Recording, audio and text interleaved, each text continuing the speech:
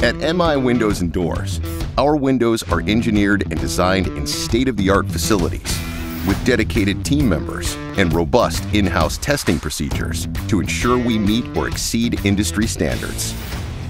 Before we begin the manufacturing process, all our window designs are put through a series of comprehensive tests on one of the industry's largest and most extensive testing walls, so you get a product proven to provide years of worry-free performance.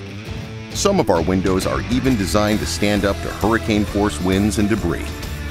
Through advanced engineering, high-tech manufacturing, quality craftsmanship, careful installation, and an industry-leading warranty, you can rest assured knowing you've made the right choice.